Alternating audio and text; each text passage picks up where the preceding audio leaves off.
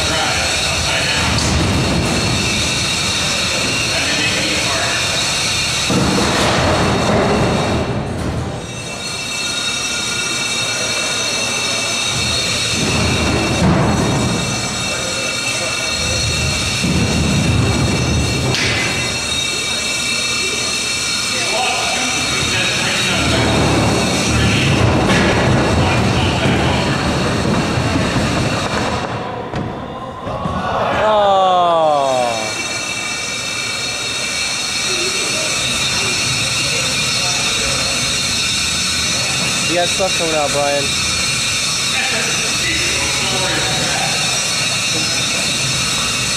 Be careful.